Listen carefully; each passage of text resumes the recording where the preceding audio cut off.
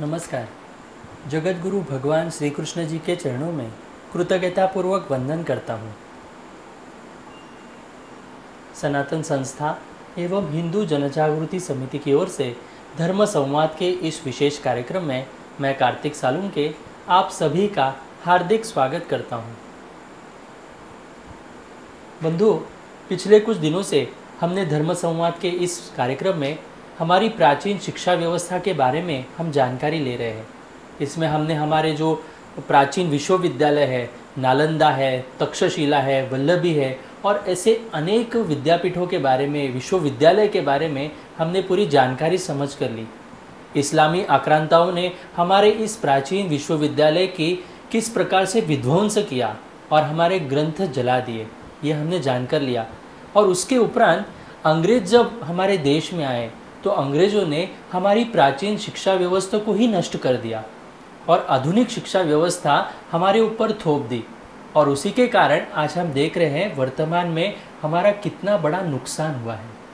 इसी के संदर्भ में आज हम कुछ जानकारी आज के इस धर्म संवाद में समझ कर लेने वाले हैं। मैकॉले शिक्षा पद्धति किस प्रकार से आई और उसने हिंदू संस्कृति का किस प्रकार से नुकसान किया, हिंदुओं का नुकसान किया, हमारी युवा पीढ़ी का नुकसान किया। ये आज हम आज के धर्म संवाद के सत्र में समझ कर लेंगे। हमारे साथ हिंदू जनजागृति समिति के राष्ट्रीय मार्गदर्शक सदगुरु डॉक्टर चारुदत्त पिंगले जी उपस्थित हैं। नमस्कार सदगुरु डॉक्टर पिंगले जी। नमस्कार कार्तिक जी। सदगुरु डॉक्टर पिंगले जी इतिहासकार माननीय धर्मपाल जी ने प्राचीन भारतीय शिक्षा व्यवस्था के बारे में विस्तृत संशोधन किया है। उन्होंने अपनी पुस्तक में क्या क्या बताया है तथा किस प्रकार से अंग्रेज़ शासकों ने भारतीय शिक्षा व्यवस्था को ध्वस्त किया तो इसके बारे में भी आप हमारे दर्शकों को विस्तृत रूप से बताएँ। माननीय धर्मपाल जी, यह मूलतः गांधी जी के एक अच्छे अनुयायी थे तथा वे एक जाने माने भारत के इतिहासकार भी थे।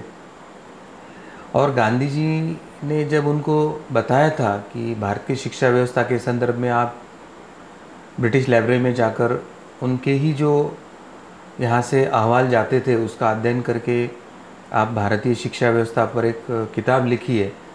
तो उसके बाद इतिहासकार धर्मपाल जी ने उसके संदर्भ में शोध कार्य किया था और एक किताब लिखी थी। रमणीय वृक्ष अठारहवीं शताब्दी में भारतीय शिक्षा जिसका मूल नाम the beautiful tree the Indic education in eighteen century यह उनका मूल पुस्तक है। उस पुस्तक में जो तथ्य हमारे सामने आते हैं, वो अत्यंत विस्मयकारी है और ये जो झूठा इतिहास हमें बताया जा रहा है, उसका पूर्ण परिप्रेक्ष्य ही बदलने वाला है। क्योंकि उनके पुस्तक में जो एक उन्होंने संदर्भ दिया है कि तात्कालिक समय में जो मद्रास प्रांत के गवर्नर है सर थॉमस मुनरो। तो इन्होंने 1822 में एक जो सर्वे किया था और उसके आधार पर एक जो रिपोर्ट बनाई थी और जो उन्होंने ब्रिटिश संसद को भेजी थी तो ब्रिटिश सरकार को 1826 में सौंपी गई इस रिपोर्ट में बहुत दिलचस्प बातें सामने आई और भारतीय प्राचीन शिक्षा व्यवस्था की व्यापकता, उसकी प्रगल्भता और उसके जो अच्छे परिणाम हैं यह दर्शाने वाली वो रिपोर्ट थी। इस रिपोर्ट में उन्होंने लिखा था कि जो मद्रास प्रांत है, तात्कालिक मद्रास प्रांत की जो व्याप्ति थी, वो वर्तमान समय का आंध्र प्रदेश, वर्तमान तमिलनाडु, वर्तमान केरला एवं वर्तमान जो कर्नाटक है, उसका कुछ जो भाग था, ये सब भाग मिलाकर उस समय का मद्रास प्रांत का क्षेत्र था। थॉमस मुनरो ने लिखा था कि उस समय मद्रास प्रांत में कुल बारह हज़ार चार सौ अट्ठानवे स्कूल और कॉलेजेस उस समय कार्यान्वित थे। यानी जब अंग्रेज़ों ने भारत पर करीब करीब बहुसंख्य भारत के प्रांतों पर, चाहे संधि द्वारा हो या प्रत्यक्ष, उनका एक आधिपत्य स्थापित करने का प्रयास हुआ था तो उस समय केवल मद्रास प्रांत में ही बारह हज़ार चार सौ अट्ठानवे स्कूल और कॉलेज कार्यान्वित थे। उस समय मद्रास प्रेसिडेंसी की जो कुल जनसंख्या है, उसके संदर्भ में थॉमस मुद्रो ने कहा था कि वह एक करोड़ अट्ठाईस लाख पचास हज़ार नौ सौ इकतालीस थी। यानी अगर जनसंख्या के अनुपात में अगर हम उस समय विद्यालय और कॉलेजों की अगर हम अनुपात देखते हैं तो एक हज़ार व्यक्ति के पीछे एक स्कूल अथवा कॉलेज उस समय कार्यान्वित था। 1901 में जो जनगणना हुई थी, उस जनगणना में जो भारत के साक्षरता का जो अनुपात निकला था, वो केवल पाँच दशमलव तीन एक प्रतिशत ही था, जो अत्यंत कम था। 1901 में जो जनगणना हुई थी और उसके मुताबिक उस समय का भारत का जो साक्षरता का एक औसतम दर था, वह केवल पाँच दशमलव तीन एक इतना ही था, यानी अत्यंत कम था। 1822 के आसपास भारत में सतानवे प्रतिशत साक्षरता थी। उसके तुलना में 1901 में केवल पाँच दशमलव तीन एक तक रह गई है। तो इसके संदर्भ में कुछ चार्ट और आंकड़े भी आप अभी आप स्क्रीन में देख रहे हैं। तो धर्मपाल जी तात्कालिक प्राचीन और पारंपरिक शिक्षा व्यवसाय के बारे में अपने पुस्तक में बताते हैं कि प्रत्येक गाँव के मंदिर से एक पाठशाला या स्कूल जुड़ा होती थी। और वहाँ पर आसपास के समूह सभी समुदाय के बच्चे अध्ययन हेतु जाते थे। इसके अलावा जहाँ मंदिर समृद्ध थे, वहाँ समृद्ध मंदिरों में अकादमियाँ थी। और यह अकादमियों में अधिक उन्नत विषयों का अध्ययन अध्यापन किया जाता था। यानी एक महाविद्यालय के तौर पर वहाँ पे कार्य किया जाता था। पुरातत्वविद जो थे आर नागास्वामी, उन्होंने उन्नत शिक्षा उस समय कैसे दी जाती थी? इसके संदर्भ में जो कुछ प्रमाण प्रस्तुत किए थे, उसका भी उन्होंने वहाँ पर संदर्भ दिया है। आर नागास्वामी ने कांचीपुरम ज़िले में उत्तिरामपुर में सुंदरवारा का जो मंदिर है, उस मंदिरों के दीवारों पर जो दसवीं शताब्दी के जो शिलालेख है, जो लिखे गए थे, उनको उन्होंने खोज कर निकाला और उस पर स्पष्टता से यह लिखा है कि वहाँ उस समय कैसे स्कूल कार्यान्वित थे, कैसे कॉलेज कार्यान्वित थे, उनका प्रशासन कैसे था, उसका संपूर्ण वर्णन ही शिलालोक के ऊपर लिखा हुआ मिला है। यह मंदिर पल्लव शासन में ईस्वी 750 के आसपास बनाया गया था और वैदिक महाविद्यालय के प्रशासन के अनुसार और संभवतः भाई भतीजावाद ना उभरे इसलिए भी उस समय यह निर्धारित किया गया था कि वहाँ पर जो भी शिक्षा देने वाला शिक्षक है, अध्यापन करने वाला शिक्षक है, वह उस गाँव का मूल निवासी नहीं हो सकता है। यानी केवल शिक्षा प्रणाली थी, ऐसा नहीं। तो सुदृढ़ शिक्षा हो, शिक्षा में भाई भतीजावाद ना हो, उस पर एक अधिकार जमाने की प्रक्रिया ना हो, इसलिए शिक्षक उस गाँव का मूल निवासी ही ना हो, इस प्रकार के कुछ नियम भी उन्होंने बनाए थे। शिक्षक कैसे होना चाहिए? इसके संदर्भ में जो उन शिलालोकों में हमको उल्लेख मिलता है, उसमें यह कहा कहा गया है कि शिक्षक को व्याकरण और विभिन्न दर्शनों का ज्ञान होना आवश्यक है। शिक्षण, शिक्षक जो है, वो तर्कशास्त्र और व्युत्पत्ति शास्त्र में भी निष्णांत होने की आवश्यकता है उसमें वो तज्ञ ही होना चाहिए। और इन सब गुणों के अलावा शिक्षकों ने कम से कम एक वेद का अध्ययन करना आवश्यक था। ऐसे निकष ही उन्होंने शिक्षक बनने के लिए बनाए थे। शिक्षक के संदर्भ में और जो उन्होंने जो बातें बताई, उसमें शिक्षक को गणितीय ज्योतिष आना आवश्यक है। उसको फल ज्योतिष भी जानना आवश्यक था। यानी आज के अगर परिप्रेक्ष्य में हम शिक्षकों की अगर पूर्तता अगर देखते हैं तो उस समय शिक्षक बनने के लिए जो विहित आर्तता थी, वो कई अधिक कठिन थी ऐसे हमें ध्यान में आता है। और उस शिक्षा पद्धति का एक रोचक पहलू जो सामने आया है तो वो सबसे महत्व का पहलू है कि शिक्षक को शुरुआत में जब उसको नियुक्त किया जाता था तो उसको आजीवन या लंबे कालावधि के लिए नियुक्त नहीं किया जाता था। किम्बोना उसको केवल तीन वर्ष के अवधि के लिए ही नियुक्त किया जाता था। और तीन वर्ष के अंत में उसका मूल्यांकन किया जाता था कि उसका अध्यापन का कार्य कैसा है, वो योग्य कर रहा है या नहीं, और इसके आधार पर उसका कार्यकाल बढ़ाया जाने का प्रावधान उनके इसमें था। आज जैसे वर्तमान शिक्षा व्यवस्था में एक बार आपको अपॉइंटमेंट मिल गया कि अब आपका अधिकार हो गया कि आप रिटायर नहीं होते, तब तक आप भले सिखाएँ, ना सिखाएँ, सिखाने योग्य हो ना हो, बस आपको तनख्वाह लेनी है और नौकरी करनी है। तो इसके विपरीत उस समय शिक्षा केंद्र बिंदु होने के कारण, अच्छी शिक्षा केंद्र बिंदु होने के कारण और अच्छे शिक्षक बनने हेतु तो निरंतर उनके अपग्रेडेशन आवश्यक होने के कारण अस्थायी नियुक्ति तीन साल के होने के बाद ही उनका अवलोकन करके फिर उनको आगे की नियुक्ति दी जाती थी। तो इससे हमें यही समझ में आता है कि प्राचीन काल में विश्वविद्यालयों की नियुक्ता कितनी निरपेक्षता से और कितनी योग्यता से की जाती थी और वह व्यवस्था, वर्तमान व्यवस्था से कितनी अधिक योग्य थी, यह दोनों बातें हमें समझ में आती। और इसलिए पूर्व काल में हमारी पारंपरिक शिक्षा प्रणाली में तीन वर्ष के लिए नियुक्ति मिलने के बाद अगर उसको शिक्षक को लगता है कि मेरी नियुक्ति आगे भी शुरू रहना चाहिए, बढ़नी चाहिए तो शिक्षक को अपना पूर्ण कौशल्य लगाकर विद्यार्थियों को पढ़ाना आवश्यकता, विद्यार्थियों को समझे, वे अपने जीवन में उन्नति करें।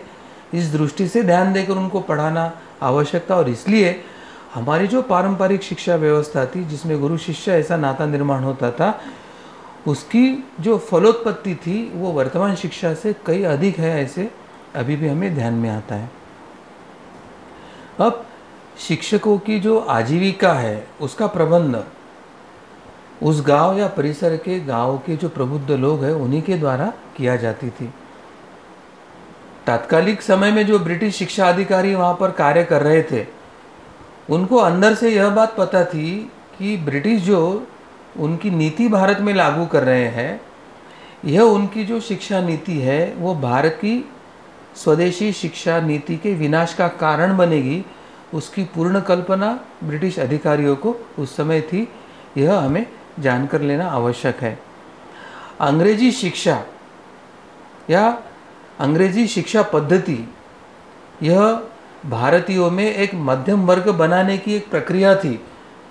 मध्यम वर्गीय नौकरी ओरिएंटेड या एक सीमित आय और एक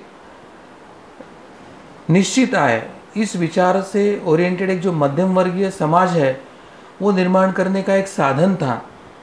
और यह जो मध्यम वर्ग बनेगा, वो अंग्रेज़ जो भारत ने तो पूरे विश्व में जो शासन करना चाहता था तो उनकी शासन प्रणाली कार्यान्वित रखने के लिए, उनका शासन चलाने के लिए यह मध्यम वर्गीय पीढ़ी सहायता करेगी। इस उद्देश्य से उन्होंने यह नीति लागू किया था। धर्मपाल जी ने जो एक समकालीन दस्तावेज़ का संदर्भ देते हुए एक बात स्पष्ट किया था कि अंग्रेज़ों ने स्कूलों की फ़ीस इस हद तक बढ़ाई थी कि जो स्कूलों की कक्षाओं की परिस्थिति को देखते अत्यंत असामान्य थी। सर्वसामान्य लोग या जो गरीब लोग थे, उनको यह फ़ीस देना ही बड़ा मुश्किल या कठिन हो गया था। और इसके कारण यह जो एक मध्यम वर्गीय समाज था, जो केवल क्लरिकल ही जॉब करने के लिए अंग्रेज़ों को सहायभूत बनने वाला था, ये मध्यम वर्गीय समाज हो या जो गरीब लोग थे, ये अपने आप इस शिक्षा से धीरे धीरे दूर होने लग गए। भारत में साक्षरता का प्रमाण कम होने लगा और यह जो शिक्षा से दूर जाने वाला जो समाज था, वो अंग्रेज़ों के लिए अभी उन्होंने मजदूरी का काम करना शुरू कर दिया था। तो ऐसा स्पष्ट उल्लेख धर्मपाल जी ने संदर्भ के सहित अपने पुस्तक में दिया है। अंग्रेज़ों की यह जो नई शिक्षा प्रणाली थी, उसने भारत में अंग्रेजियत को बढ़ावा दिया। अंग्रेजियत को बढ़ावा देना यानी स्वधर्म स्व संस्कृति स्व तंत्र जो था स्व शिक्षा स्व न्याय ये सब प्रणाली से दूर जाके अंग्रेज़ जो कुछ कर रहे वह योग्य है और उसका गुणगान करना यह वृत्ति भारतीय लोगों के मन में बढ़ना शुरू किया।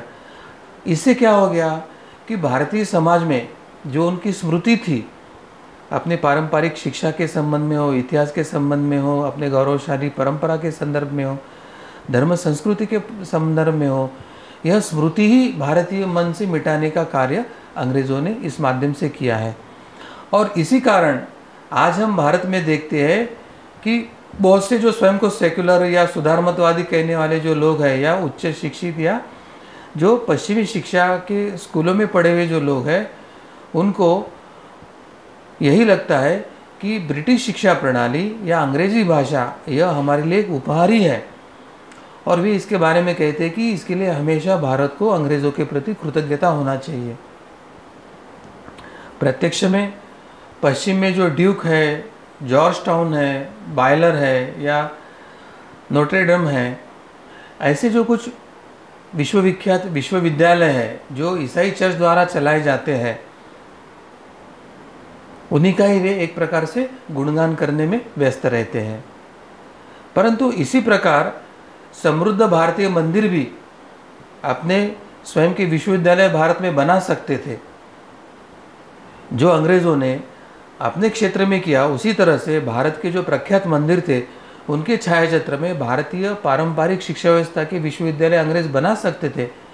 परंतु अंग्रेज़ों ने षड्यंत्र पूर्वक अठारह से 1926 के कालावधि में उन्होंने जो कुख्यात धार्मिक अधिनियम बनाकर उन अधिनियमों के द्वारा हिंदुओं की, मंदिरों की भूमि और संपत्ति ही जब्त कर लिया था और मंदिरों की भूमि और संपत्ति ही अंग्रेज़ों ने जब्त करने के कारण मंदिरों के छाया क्षेत्र में पारंपरिक शिक्षा प्रणाली द्वारा संचलित हो, ऐसे ना तो विद्यालय चल पाए, ना तो विश्वविद्यालय चल पाए। तो एक तरह से हमारी प्राचीन शिक्षा परंपरा को ध्वस्त करने के लिए ये अंग्रेज़ों ने कैसे कैसे कानून बनाए थे, कैसे कैसे षड्यंत्र रचे थे, उसका पर्दाफाश धर्मपाल जी ने अपने इस पुस्तक में किया है। और इसलिए धर्मपाल जी की इस पुस्तक का अत्यंत ध्यानपूर्वक अध्ययन करना सभी को आवश्यक है। अंग्रेज़ों ने तो यह किया कि हमारे मंदिरों की भूमि और संपत्ति जब्त करके मंदिरों को कंगाल किया और मंदिरों के माध्यम से ना तो हिंदुओं को धर्म शिक्षा मिले या मंदिरों के माध्यम से ना तो पारंपरिक शिक्षा पद्धति के स्कूल या विश्वविद्यालय चले। यह तो अंग्रेज़ों ने षड्यंत्रपूर्वक किया ही था। परंतु भारत के स्वतंत्रता के उपरांत उन्नीस सौ इक्यावन में मंदिरों को जो भारत के सेकुलर सरकार द्वारा नियंत्रित करने के संदर्भ में जो अधिक कठोर कानून बनाए गए, वह अंग्रेज़ों के ही कदमों पर, पदचिन्हों पर चलने का संकेत देते हैं। और इसलिए बार बार यही कहा जाता है कि अंग्रेज़ यहाँ से जाने के बाद उन्होंने भारत की सत्ता, अपने पिट्ठू या जो अंग्रेज़ों का लंगुल चालन करने वाला जो एक भारत में समाज था, ऐसे काले अंग्रेज़ों के हाथ में सौंप कर गए थे। यह जो बार बार आरोप होता है तो उसकी पुष्टि यह कानून करता है कि उन्नीस सौ इक्यावन में फिर से जो स्वतंत्र भारत में कठोर कानून बना के मंदिरों की संपत्ति और भूमि या मंदिरों का कंट्रोल करने की जो प्रक्रिया सरकार ने अपने हाथ में लिया है तो गोरे अंग्रेज़ जाके काले अंग्रेज़ों के शासनों ने जो भारत का नुकसान किया है वो कहीं अधिक ज़्यादा है, यह हमें समझ में आता है। हमारे लिए कितनी शर्मनाक बात है कि भारत के जो हिंदुओं के मंदिर है, वह सेकुलर राज्यों द्वारा चलाए जा रहे हैं। एक तरफ़ सेकुलर की व्याख्या करते समय वे कहते हैं कि वो जो धर्म को नहीं मानते हैं जो धर्म निरपेक्ष है, जो पंथ निरपेक्ष है, या धर्म के लिए जो विरोध करते हैं, ऐसे हैं। और दूसरी तरफ़ सेकुलरिज्म के नाम पर ही हिंदुओं के मंदिर, यह शासन नियंत्रित करके चला रही है, ये सबसे बड़ा दुर्भाग्य है। मगर इसमें एक जो भेदभाव की जो बात है, इसमें जो डिस्क्रिमिनेशन की बात आती है कि यह जो सेकुलर शासन हिंदुओं के मंदिरों को नियंत्रित करता है, हिंदुओं के मंदिरों की भूमि और संपत्ति को नियंत्रित करता है, दूसरी तरफ़ यह सेक्युलर जो शासन है, वह ना तो मस्जिद को नियंत्रित करता है, ना तो मस्जिद की भूमि और संपत्ति को जब्त करता है। ना चर्च को नियंत्रित करता है, ना तो चर्च की भूमि और संपत्ति को नियंत्रित करता है। और इसलिए ऐसा कहा जाता है कि आज भारत सरकार और रेलवे के बाद अगर किसी के कंट्रोल में सबसे अधिक भूमि और संपत्ति है, वो तो एक चर्च के और दूसरे वक्फ बोर्ड के हाथों में ऐसे कहा जाता है। तो स्वतंत्र भारत में अब हिंदू कंगाल है, हिंदू मंदिर कंगाल हो रहे हैं। एक तरफ़ से वक्फ बोर्ड या चर्च संस्था है भूमि और संपत्ति से फले फूल रहे हैं और दूसरी तरफ़ सरकार केवल हिंदू मंदिरों पर ही दड़पने का काम कर रहे तो यह जो एक भेदभाव हो रहा है तो धर्मपाल जी ने जो गोरे अंग्रेज़ों के षड्यंत्र के बारे में बताया है तो वर्तमान स्थिति हमें ये काले अंग्रेज़ों के काले कारनामे हमें बता रही है। इसके विरोध में हमें संघर्ष करना होगा। ये झूठा सेकुलरिज्म की जो व्याख्या है, उसको सही व्याख्यान्वित पहले करने की आवश्यकता है। ये सेकुलरिज्म शब्द को हटाकर भारतीय संविधान में हम हिंदू धर्म, संस्कृति, परंपरा और उसके गौरवशाली इतिहास को संरक्षित करते ऐसे संविधान में अधिकृत तौर पे लाने की आवश्यकता है। इसके लिए भारत को हिंदू राष्ट्र बनाने के, अभियान को शुरू रखने की आवश्यकता है और इसके लिए हम सभी को एकत्रित आके यह अभियान आगे बढ़ाने की आवश्यकता है। तो अभी हमने देख रहे थे कि ये स्वतंत्र भारत के जो काले अंग्रेज़ हैं जो लगते तो हमारे ही हैं, परंतु जिन्होंने हिंदू मंदिरों को ध्वस्त करने की प्रक्रिया शुरू किया तो हमें यह जानने की आवश्यकता है कि जब तक हिंदुओं के मंदिर, ये सेकुलर शासन द्वारा शासित और प्रशासित रहेंगे, तब तक मंदिरों के द्वारा हिंदुओं को उनको जो सार्वभौमिक शिक्षा, धर्म शिक्षा, पारंपरिक शिक्षा, इसकी व्यवस्था करना हमारे मंदिरों को संभव नहीं होगा।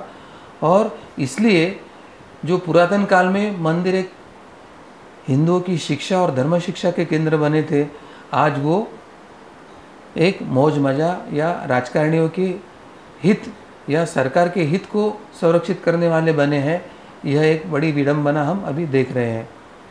यदि भारतीय संस्कृति को विश्व प्रक्रिया में अपना प्राकृतिक स्थान खोजना है, अपना गौरवशाली स्थान ढूंढना है या अपने आप को विश्व गुरु के रूप में देखना है तो सर्वप्रथम हमारे मंदिरों को सरकारी नियंत्रण से मुक्त करने की आवश्यकता है। वो सच्चे भक्तों के हाथ में उसका नियंत्रण जाए और सच्चे भक्त भी मंदिरों के माध्यम से सर्वप्रथम धर्म शिक्षा कैसे मिले, शिक्षा व्यवस्था समाज की कैसे निर्माण हो बच्चों के लिए बाल संस्कार, धर्म संस्कार कैसे हो?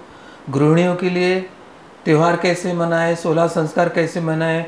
ऐसे लेके तो दैनंदिन जीवन में जो कुछ व्रत, त्यौहार या उत्सव मनाने हैं, उसके लिए शिक्षा देने के लिए जब तक वे योजना बनाते नहीं और मंदिर ये आसपास के लोगों के दिशा दर्शन का केंद्र जब तक बनता नहीं, तब तक भारत विश्वगुरु बनने की स्थिति में नहीं जाएगा।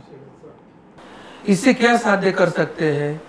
इससे हम केवल भारत की कलात्मक और धार्मिक परंपराओं के लिए नहीं तो बल्कि जो आधुनिक विज्ञान है, प्रौद्योगिकी है, या समाज के जो समकालीन समस्याएँ है, समाज के समकालीन जो आवश्यकता है, उसके प्रति हमारे मंदिर और मंदिर के माध्यम से जो विश्वविद्यालय है, वह एक आधार स्तंभ करके निर्माण होके हिंदू समाज के या हमारे भारत के विकास में उसकी मदद मिलेंगे और इसलिए धर्मपाल जी ने यह जो अंग्रेज़ों के षड्यंत्र का पर्दाफाश अपने इस पुस्तक में किया है तो इस पुस्तक का अध्ययन सबसे पहले हम सबको करना आवश्यक है।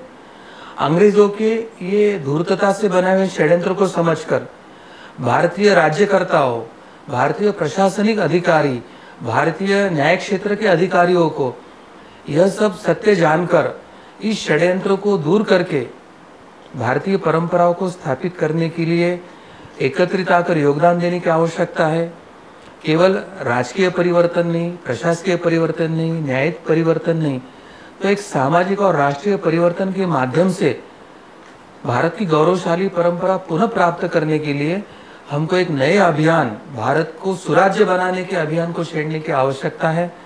मैं आप सभी दर्शकों को यह आह्वान करना चाहता हूँ कि जो जो इस कार्य से जुड़ना चाहते हैं, कानूनी, सामाजिक, आर्थिक या प्रबोधनात्मक जो जो कार्य में आप जुड़ना चाहते हैं तो आप अपना नाम, नंबर कमेंट बॉक्स में ज़रूर लिखिए।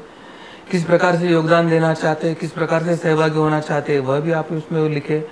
हम ज़रूर आपको संपर्क करेंगे और आगे का अभियान हम चलाएँगे।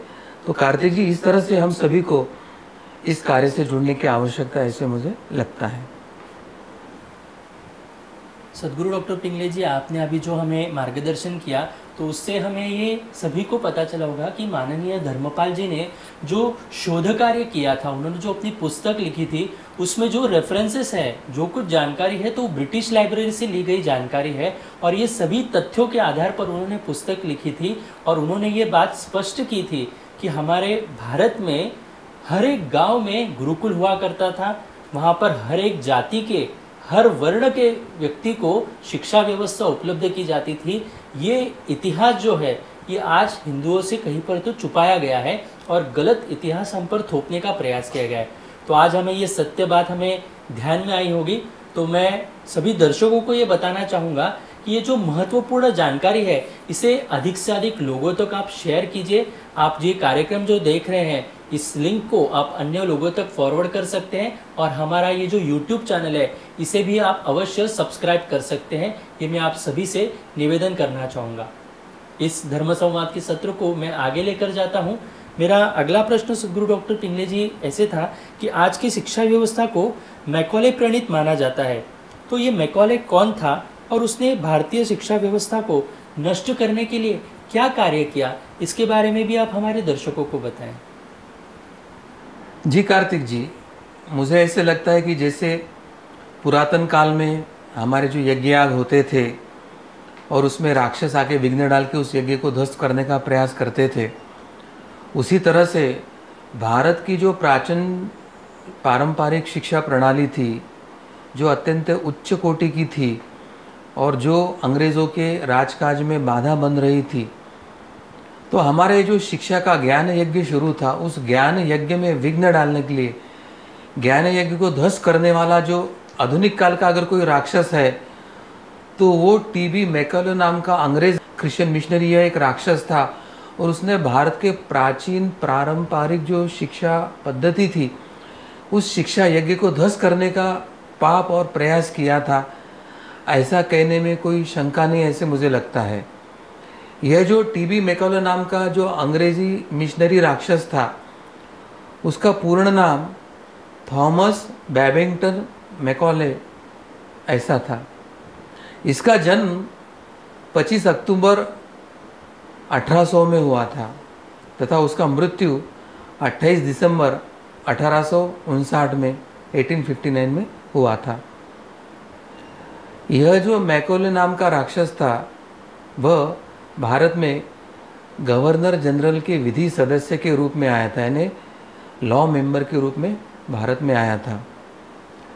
ब्रिटेन में 1830 में वह पहली बार वहाँ पर मेंबर ऑफ़ पार्लियामेंट यानी एक सांसद बना था।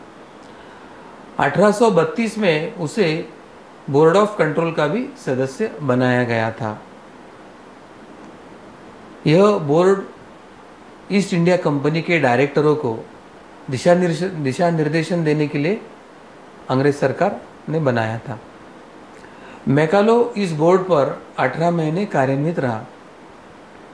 इस दौरान उसने भारत में या भारत के बारे में अध्ययन करने का प्रयास भी किया था।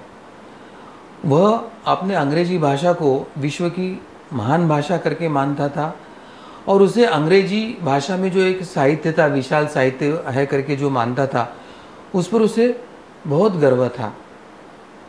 और इसके कारण जब अंग्रेज़ों की तुलना में भारतीय साहित्य की जो प्रगल्भता, भाई, भारतीय साहित्य की जो व्यापकता उसने देखा और वो संस्कृत और पारंपरिक भाषा में जब देखा तो उसको वो स्वीकारा नहीं गया और वो भारतीय साहित्य को अत्यंत घृणित दृष्टि से देखता था। और भारतीय साहित्य को घृणित दृष्टि से देखने के कारण भारतीय शिक्षा पद्धति, जो पारंपरिक शिक्षा पद्धति, शिक्षा के विद्यालय और विश्वविद्यालय थे, उसके तरफ़ देखने की घृणित दृष्टि उसके मन में निर्माण हुई थी।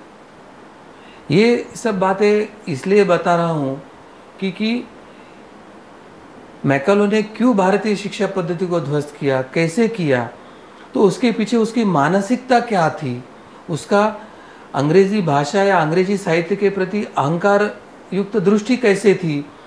और अंग्रेज़ी साहित्य को आह्वान देने वाला और उससे भी कई प्रगल्भ और प्रगत ऐसे साहित्य को देखने के बाद उसके मन में ईर्षा कैसे निर्माण हुई थी?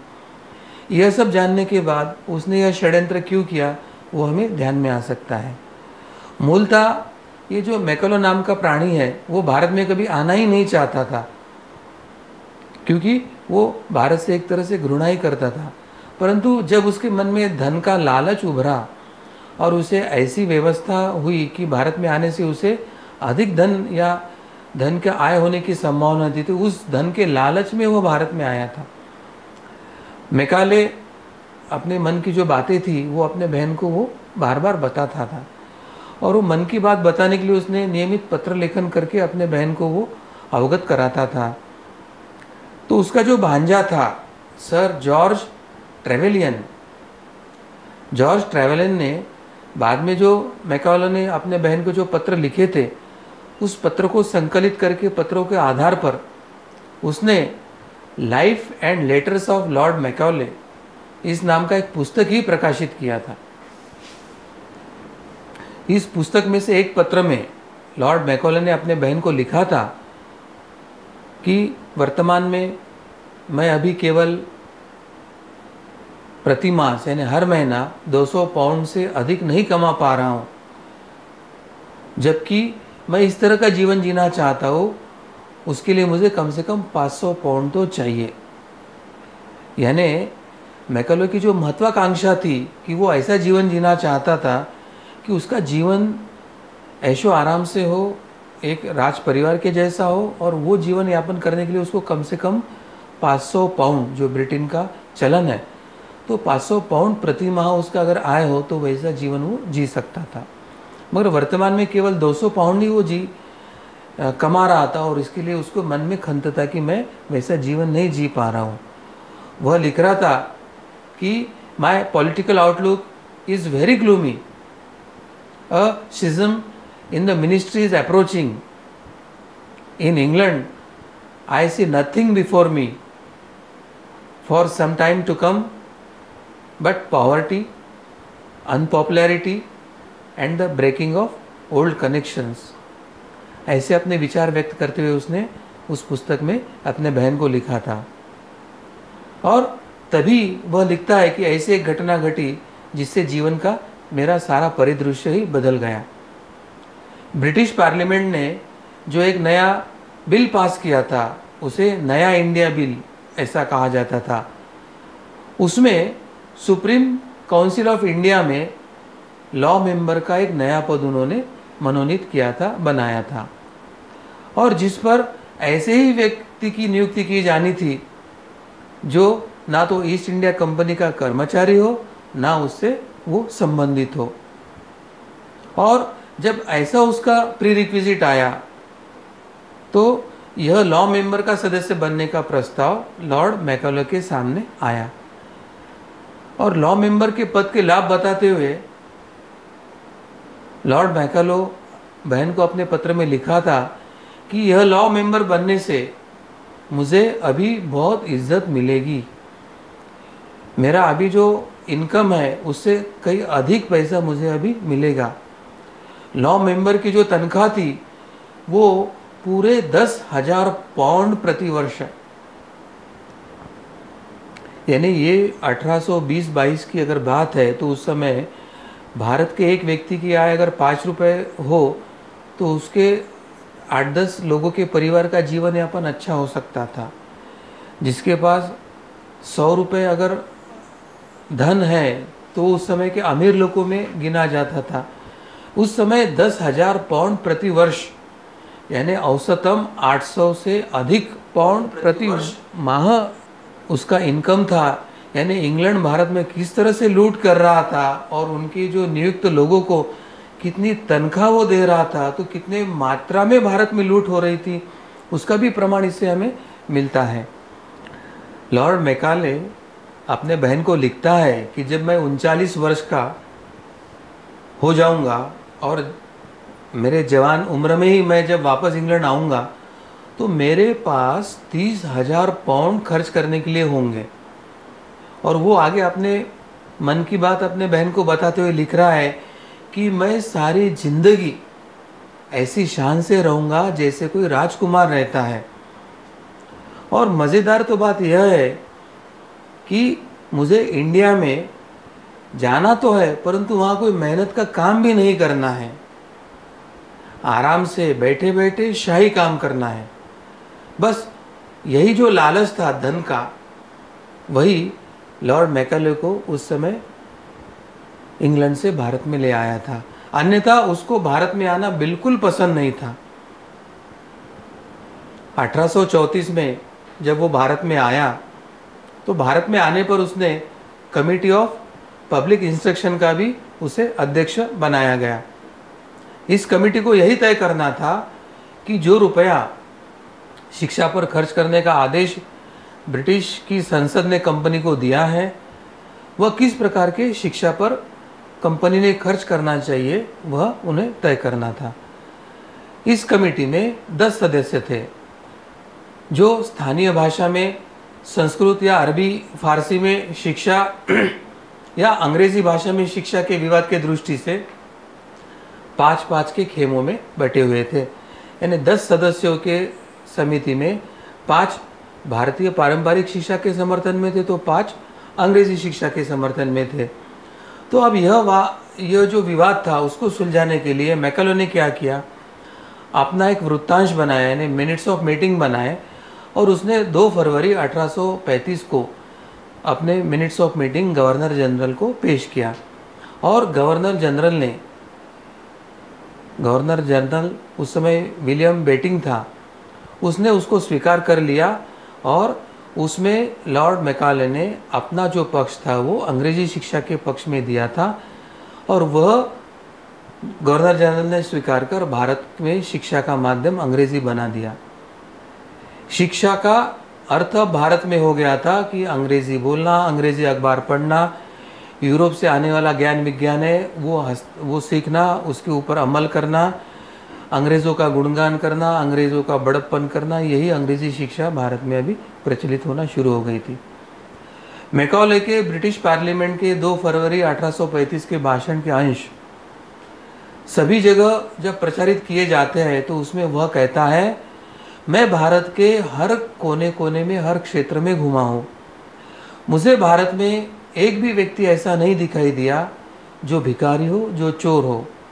लॉर्ड मैकालो, ब्रिटिश संसद में कहता है कि इस देश में मैंने इतनी धन दौलत देखी है, लोगों के इतने उच्च चरित्र के आदर्श देखा है, लोगों में इतने गुणवान मनुष्य मैंने देखे हैं कि मैं नहीं समझता कि हमारी वर्तमान क्षमता में हम इस भारत को जीत पाएँगे, इस भारत के नागरिकों पर राज कर पाएँगे। हमको अगर भारत में राज करना है, भारत को जीतना है तो इनकी जो रीढ़ की हड्डी है, वो जो इनकी आध्यात्मिक और सांस्कृतिक विरासत है, इसको जब तक हम तोड़ के नहीं देते, इसको जब तक हम नष्ट नहीं करते, तब तक हम यहाँ पर पाव जमाना मुश्किल है। और इसलिए मैं ब्रिटिश के संसद में यह प्रस्ताव रखता हूँ कि हमें भारत की इस पुरानी और पारंपरिक शिक्षा व्यवस्था को, उनकी संस्कृति को बदल डालने के लिए प्रयास करने होंगे। क्योंकि अगर भारतीय ऐसे सोचने लगे कि हमारी पारंपरिक शिक्षा और संस्कृति के ऊपर यह जो विदेशी और अंग्रेज़ी संस्कृति और शिक्षा पद्धति है, वह हमसे अधिक अच्छी है, उनकी चीज़ें या वो जो बना रहे, वो चीज़ें हमसे अधिक बेहतर है। तो भारतीय लोग अपने आत्मगौरव, अपने आत्मसम्मान और अपनी संस्कृति को ही भूलने लगेंगे, अपने संस्कृति को ही गलत या हीन बनाने लगेंगे। और उस समय वह हमें जैसा चाहिए, वैसे वो बनेंगे। और अगर ऐसे होता है तो संपूर्ण भारत हमारा गुलाम बनेगा। सार स्वरूप में मैकलो ने यही कहा था कि भारतीयों के मन में अपनी स्व शिक्षा पद्धति स्व संस्कृति या अपनी परंपरा के विषय में इन्फेरिटी कॉम्प्लेक्स क्रिएट करें। और ऐसे वातावरण बनाए कि जो पाश्चात्य है, अंग्रेज़ी का जो है, वो सब अच्छा है, ऐसी भावना उनके मन में जागरूक हो जाए। तो अगर भारतीय अंग्रेज़ों के वैचारिक गुलाम बन जाते हैं तो उसके माध्यम से संपूर्ण भारत अंग्रेज़ों का गुलाम बन सकता है। तो संक्षिप्त में उसने वो जो कहा था, वो अंग्रेज़ में मैं, अंग्रेज़ी में मैं संक्षिप्त में कहना चाहूँगा कि वो लिखता है I have travelled across the length and breadth of India and I have not seen one person who is beggar who is thief such wealth I have seen in this country such high moral values people of such calibre that I do not think we would ever conquer this country unless we break the very backbone of this nation, which is her spiritual and cultural heritage. And therefore, I propose that we replace her old and ancient education system, her culture, For if the Indians think that all that is foreign and English is good and greater than their own, they will lose their self esteem, their native culture, and they will become what we want them a truly dominated nation यानी कितने धूर्तता से भारत के संस्कृति, परंपरा, शिक्षा पद्धति को नष्ट करने का प्रस्ताव खुलेआम ब्रिटिश संसद में रखा है। और वो रखते समय भारत के गौरव के संदर्भ में उसने जो बताया कि मैंने यहाँ का व्यक्ति कैसा है, वो चोर नहीं, वो गरीब नहीं, वो शिक्षित है, उसका चरित्र आदर्श है भारत की सांस्कृतिक विरासत कितनी थोर है तो दोनों बातें उसने एक ही समय संसद में रखी है। मगर हमारा ये दुर्भाग्य है कि संसद में डॉक्यूमेंटेड जो फैक्ट है ब्रिटिश लाइब्रेरी में जो खुलेआम ये जो फैक्ट्स और तथ्य रखे गए हैं तो उन्नीस के बाद जो भारत को शासन और प्रधानमंत्री और मंत्रिमंडल या सरकारें मिली है, उन्होंने इस तथ्य को भारत में लाकर उनके षड्यंत्रों का पर्दाफाश नहीं किया। भारत को कैसे उन्होंने गुलाम बन के रखा है, उनके नीति नियमों को पर्दाफाश नहीं किया और उन्हीं की नीति परंपरा को जारी रख के भारत को गुलाम बनाने का जो प्रयास किया है तो गोरे अंग्रेज़ से ज़्यादा अगर इस देश का नुकसान किसी ने किया है तो वो उन्नीस के बाद इस देश में सत्ता पर आने वाले काले अंग्रेज़ों ने किया है। और इसके तथ्य हमें माननीय धर्मपाल जी के ग्रंथ में हमें स्पष्टता से मिलते हैं, ब्रिटिश लाइब्रेरी में मिलते हैं ब्रिटिश संसद के डॉक्यूमेंटेशन में हमें मिलते हैं। तो हम अपने लोगों के द्वारा पीड़ित है यह हमें समझने की आवश्यकता है। अब इसके बारे में कुछ विवाद चल रहा है कि यह जो भाषण के अंश है, यह किसी तथ्य के आधार पर सिद्ध नहीं होते हैं। और उसके लिए यह भी कहा जाता है कि प्रत्यक्ष में मैकॉले तो फरवरी 1835 में भारत में ही था। और तथा उसके पूर्व भारत की कभी कोई उसने यात्रा भी नहीं की थी। उसने 2 फरवरी 1835 को ब्रिटिश पार्लियामेंट में यह भाषण ही नहीं दिया था। तो इन सब बातों के विवाद को देखकर यही सिद्ध होता है कि अंग्रेज़ों को, अंग्रेज़ों की यही आदत है कि वो समाज में भ्रम फैलाकर सच्चाई को छिपाना और षड्यंत्र पूर्वक झूठी बातों को प्रस्थापित करने का उनका ये बार बार होता ही है, चाहे आर्यन इन्वेजन थेरी से लेके हो, या हमारे जो पारंपरिक विज्ञान में जो शोध लगे थे, वो अरब से जब अंग्रेज़ के, ब्रिटिश या यूरोप में गए थे तो भारत के सभी जो विज्ञान के शोध है, वो स्वयं के नाम पर ही उन्होंने प्रकाशित करके पूरा श्रेय लिया था। भारत की संपत्ति लूट कर तो लेके गए, मगर भारत के राजा लुटे रहे हैं, छत्रपति शिवाजी महाराज लुटे रहे ऐसे झूठे इतिहास बताकर स्वयं को गौरवान्वित किया था। तो उनकी तो यह नीति है, वो तो तथ्यों को छिपाकर वो षड्यंत्र करते ही है।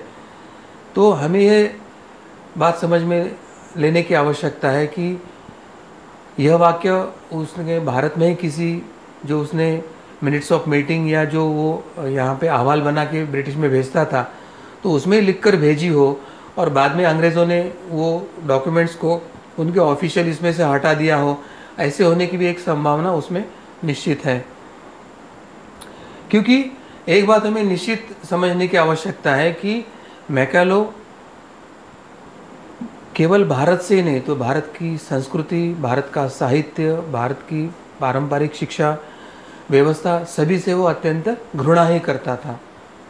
मैकोले की जीवनी में लेखक ट्रेवलिन ने यह भी लिखा है कि 1835 में भारत का एक नया जन्म हुआ था और जिसे एक नया भारत करके उन्होंने संबोधित किया था।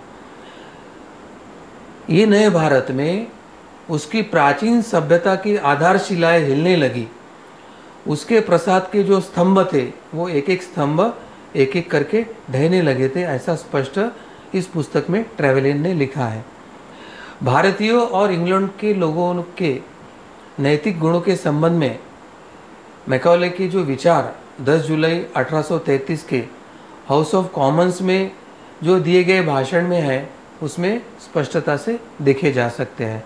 उसमें मैकौले ने कहा था, इंग्लैंड का तो सामान्य व्यक्ति भी बहुत अधिक बुद्धिमान और सद्गुणी व्यक्ति है, जबकि भारत के लोग असभ्य है, जंगली है, गवार है, लोभी है, दगाबाज है और अंधविश्वासी भी है। क्या इन्हीं को उच्च नैतिक मूल्य कहते हैं। मैकाले ने तो भारतीयों को सभ्य बनाने के लिए अंग्रेज़ी शिक्षा देना, यूरोपीय ज्ञान विज्ञान सिखाना, नैतिकता में अंग्रेज़ी बनाना, अंग्रेज़ बनाना, यह इंग्लैंड का परम दायित्व है, ऐसा मैकलो ने कहा था। और इसी आधार पर उसने भारत में तानाशाही के शासन की वकालत भी किया था। यानी एक तरह से वह मसीहा बनकर, एक रेनेसा, भारत में एक रेनेसा करने के विचार, संदर्भ में वह विचार रख रहा है और वो भारत पर बहुत उपकार कर रहा है। भारत को वह बहुत उपकृत कर रहा है। ऐसा वातावरण उसके ये वक्तव्य से लगता है, जबकि षड्यंत्र पूर्वक भारत को नष्ट करने का वह एक योजना बना रहा था वह स्पष्ट दिखता है। उसका जो कहना है, वो कह रहा था what is the best mode of securing good governance in Europe the merest smatterer in politics would answer representative institutions in India you cannot have representative institutions but she may have the next best thing a firm and impartial despotism East India Company Bharat में केवल लूटमार करने और इस देश को भिखारी बनाने के लिए आई थी। सन 1600 में जब वह कंपनियाँ आई थी, उस समय की आर्थिक स्थिति का जो फ्रांसीसी यात्री बर्नियर ने अपने शब्दों में वर्णन किया है तो ये फ्रांसीस यात्री लिखता है कि हिंदुस्तान एक यह ऐसा गड्ढा है, ऐसा गढ़ है, जिसमें संसार का अधिकांश सोना और चांदी या जड़ जवार या जो बहुमूल्य धातु है, वो चारों तरफ़ से आने के तो अनेक रास्ते हैं और आकर यहाँ जमा तो होता है, मगर इसे बाहर निकालने का एक भी रास्ता भारत में नहीं मिलता। यानी पश्चिमी जो अभ्यासक या प्रवासी भारत में आ रहे हैं, उनकी दृष्टि क्या है हमारे तरफ़ देखने की तो वो हमारे धन और विरासत को ही देख रहे हैं, आर्थिक विरासत को ही देख रहे हैं। और वो बाहर लेके जाने के बारे में कोई रास्ता नहीं दिख रहा है, वो विवंचना भी प्रकट कर रहे हैं। तो फ्रांसीसी जो यात्री है, उसके कहने से भारत की आर्थिक स्थिति क्या है, वो हमें पता चलती है। परंतु मैकौले के समय का भारत ऐसे नहीं था। मैकौले का समय जब 1820 के आसपास या 35-35 में जब वो आया था, उस समय ये ईस्ट इंडिया कंपनी भारत का सारा सोना चांदी लूट कर भारत से इंग्लैंड ले गई थी। और अब तो करीब करीब वो अपना कारोबार समेटने की स्थिति में आई थी। कंपनियों के कुछ गलत नीतियों के कारण एक और तो उनके उद्योग धंधे चौपट होते जा रहे थे और दूसरी तरफ़ भारत में उस समय बार बार अकाल आने से बड़े संकट की चपेट में भारत आ रहा था। सन सत्रह 1769 से लेकर सत्रह तक के बंगाल में ऐसे अकाल पड़ चुके थे, जिसमें एक करोड़ से अधिक लोग भूखे ही मर गए थे। सन 1800 से लेकर 1825 के दरमियान पाँच बार ऐसे अकाल पड़ चुके थे भारत में तो इन अकालों के कारण ईस्ट इंडिया कंपनी का जो राजस्व था, इनकम था वह अत्यंत निचले स्तर पे घट गया था। तो उस कंपनी के जो इंग्लैंड में जो शेयर थे, वह भी लुढ़क गए थे। मैकोलो ने स्पष्ट शब्दों में घोषणा करके नहीं, परंतु अप्रत्यक्ष सरकारी तर्क देकर भारत की शिक्षा पद्धति को, शिक्षण पद्धति को नष्ट करने का काम किया। उसने पहले तो यूरोपीय ज्ञान विज्ञान को श्रेष्ठ बताया, फिर उसकी भारतीय साहित्य से तुलना करते हुए कहा कि यूरोप के लाइब्रेरी के एक अकेले शेल्फ में जितना उच्च साहित्य है, उतना भारत और अरब के संपूर्ण साहित्य को मिलाकर भी नहीं हो सकता है। यानी कितना स्वार्थी था और तुलना कितनी अयोग्य किया था, वो भी हमें पता चलता है। भारतीय साहित्य की सांस्कृतिक विरासत कितनी प्रगल्भ है। मुझे लगता है कि भारत का सब साहित्य एकत्रित किया जाए तो संपूर्ण इंग्लैंड के लोगों के घर के शेल्फ पूरे भर जाएँगे आज की स्थिति में भी। ऐसी भारत के साहित्य की स्थिति थी। अंग्रेज़ी सरकार ने मैकोले की जो डाउनवर्ड फिल्ट्रेशन थियरी थी, उसके तहत भारत समाज के एक वर्ग को पूर्णतः अंग्रेज़ बनाया। उस अंग्रेज़ बनाए हुए एक पूर्ण वर्ग के हाथ में स्थानिक सत्ता और शासन और प्रशासन देकर उसके माध्यम से उसने अन्य वर्गों पर सरकारी नियंत्रण स्थापित किया था। और बड़े पैमाने पे वे इस माध्यम से नियंत्रण स्थापित करने में सफल भी हुए थे। आज भी आप देखेंगे कि हमारे देश में अंग्रेज़ी बोलने वालों को बहुत उच्च कोटि का विद्वान समझा जाता है। भलाई वो कितना मूर्खतापूर्ण बात क्यों ना करे। और हमारे मातृभाषा में कोई विद्वान चाहे कितनी भी विद्वतापूर्ण बात करे, वह अंग्रेज़ी समझने वालों की तुलना में कमज़ोरी समझा जाता है। ये वर्तमान आज भी स्वतंत्रता के बाद, सत्तर वर्ष के बाद भारत में यही स्थिति है। तो मानसिक गुलामगिरी की जड़ें कितने अंदर तक वे डालकर गए वही हमें समझ में आता है। और यही जो सोच है, वो अंग्रेज़ी शिक्षा ने हमारे भारत में विकसित किया है। और अंग्रेज़ों का यही उद्देश्य था अंग्रेज़ी शिक्षा को भारतीय, भारत में स्थापित करने का और भारतीय शिक्षा पद्धति को नष्ट करने के पीछे। आज इसी की वजह से, पाश्चात्य शिक्षा की वजह से, पारंपरिक शिक्षा को ध्वस्त और विध्वस्त करने की वजह से, आज भारत का प्रत्येक नागरिक खुद को ही हीन, कनिष्ठ और छोटा समझकर पाश्चात्य और अंग्रेज़ों को वो बड़ा मानकर एक न्यूनगंडता में इन्फिनिटी कॉम्प्लेक्स में रह रहा है। आज यह जो गुलामगिरी है, पाश्चात्य विचारों की, पाश्चात्य संस्कृति की, या पाश्चात्यों के पाश्चात्यों के महिमा मंडनों की जो गुलामगिरी है, उस गुलामगिरी से मुक्त होकर, सही मायने में स्वतंत्र बनकर, सही मायने में स्वराज्य का निर्माण करने के लिए हम सबको एकत्रित आना होगा, अभियान चलाना होगा, अपनी स्मृति के ऊपर चढ़ी हुई धूल को हटाना होगा। ओल्ड इज़ गोल्ड पुरातन की तरफ़ वापिस हमें उल्टा प्रवास करके जाना होगा। और यही भारत के उत्थान के प्रक्रिया का एक सबसे बड़ा कदम साबित होगा, ऐसे मुझे लगता है। भारत के उत्थान के साथ यही भारत को विश्व गुरु बनने का एक बड़ा पहल और कदम साबित होगा, ऐसे मुझे लगता है। और इतना ही नहीं तो भारत हिंदू राष्ट्र बनकर संपूर्ण विश्व को वसुदेव कुटुंबम बनाने के तरफ़ यह एक पहला और एक बड़ा कदम साबित होगा, ऐसे मुझे लगता है।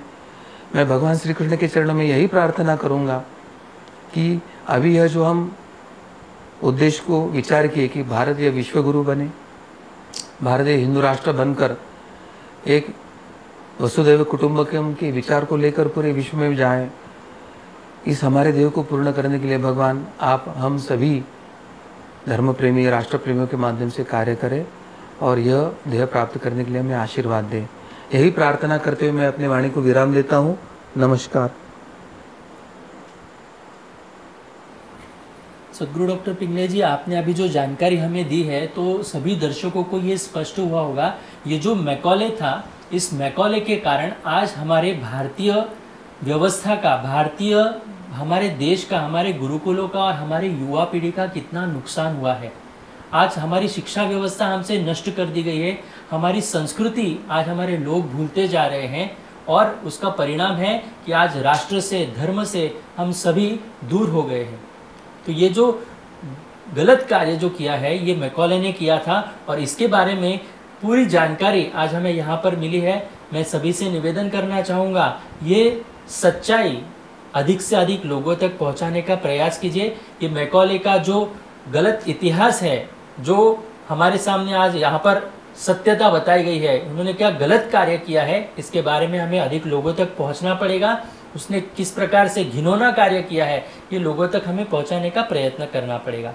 तो मैं सभी दर्शकों से आह्वान करता हूँ, और साथ ही यह विषय सुनते समय यदि आपके मन में कुछ शंका हो, कुछ आपके मन में प्रश्न हो तो आप अवश्य अपने चैट बॉक्स पर लिख कर दे सकते हैं। आपके कोई सुझाव भी हो तो आप अवश्य हमें दें। ऐसे में आप सभी से निवेदन करूँगा। भगवान श्री कृष्ण जी की कृपा से आज का धर्म संवाद का यह कार्यक्रम यहीं पर संपन्न हुआ, ऐसे मैं घोषित करता हूँ। नमस्कार।